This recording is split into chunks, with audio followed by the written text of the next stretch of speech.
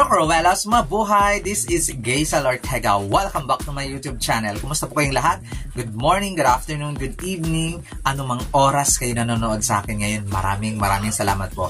Sa mga bagong kong subscribers, sa mga returning viewers, thank you so much sa suporta. Sa mga hindi pa po nakasubscribe, please subscribe my YouTube channel, Gaysal Ortega. And Cruella and Pageantry.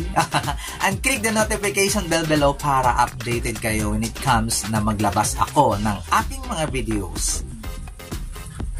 Ang pag-uusapan natin ngayon ay ang official photos ng mga contestant or candidates dito sa Miss Universe Philippines 2023 with their sashes. O, oh, di ba? With their, with their sash. Ano ba nagsasabi ko? Kaya, ang ganda, in fairness, ah, to be fair, to be fair sa mga candidates natin, eh talagang pangabog din naman ang aurahan, beautiful. Ang ganda ng paeksena nila at mabuti umabot itong si Kristen May Bukhang ng Apayaw na very my personal favorite. Hindi lang dahil maganda siya ay dahil maganda ang kanyang pangalan. O, di ba? Kristen May Bukang Apayaw. O, di ba nakaabot siya ng bonggang-bongga? Wow. At saka, natuwa ako doon sa kanilang uh, official uh, photo. At yan ang una nilang pasabog this week ng Miss Universe Philippines. Kung sino nga ba ang favorite ko, magbigay, ah, nag-ano lang ako ng top 10.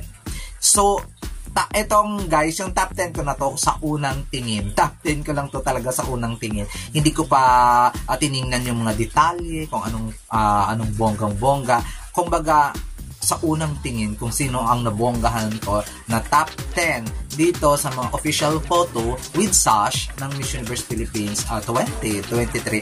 Ang aking top 10 ay si Aklan. Mm, isa siya sa mga beautiful. Si Bohol, Bongga, si Bulacan. Magaling din si Cebu, si Davao Oriental, very beautiful. Lapu-Lapu, sobrang ganda. Si Makati, I love Michelle D. Gusto talaga yung very uh, short hair niya. Northern Samar, I like her. Pampanga at Paranaque. Kudos din sa photo ni Miss Capis. Ang ganda. Uh, kahit na voluptuous ang katawan niya, ang ganda ng kanyang photos doon sa uh, pinalabas sa official photos ng uh, with sash ng Mission Universe Philippines at 2023. At para guys makita ninyo lahat ng mga photos ng mga girls kung bakit sila ang aking top 10, ipapakita ko sa inyo ng bonggang-bongga ang lahat ng photos ng Miss Universe Philippines candidate. Here we go!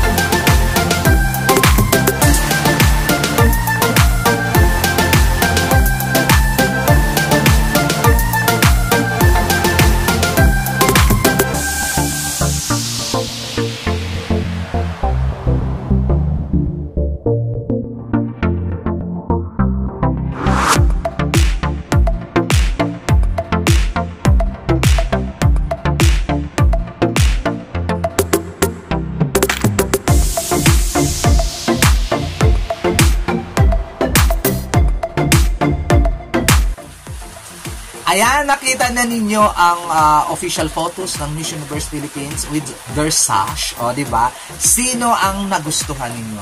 Sino ang bongga? Sino ang pinaka favorite ninyo, 'di ba? Sa photos lang ha, wag tayong pag-usapan mga communication skills pasarela. Yung favorite ninyo diyan sa photo alone. O, 'di ba? Pero para sa akin, babanggitin ko yung pinaka-favorite ko sa photo na lang 'yan, sa photo na pinalabas nila ay Chandraran Pampanga. I love her. Grabe um, talagang ipinaglaban talaga ni Angelic Manto ang kanyang kapangyarihan. kapangyarihan para iligwak lahat ng mga kalaban. O di ba? So far, siya ang pinakabongga sa akin dito sa official photos nila sa unang pasabog ng Miss Universe Philippines. So, kayo guys, i-comment down below din ninyo kung sino ang pinaka-favorite ninyo. And, this has been Jason Ortega. Maraming maraming salamat. Paalam!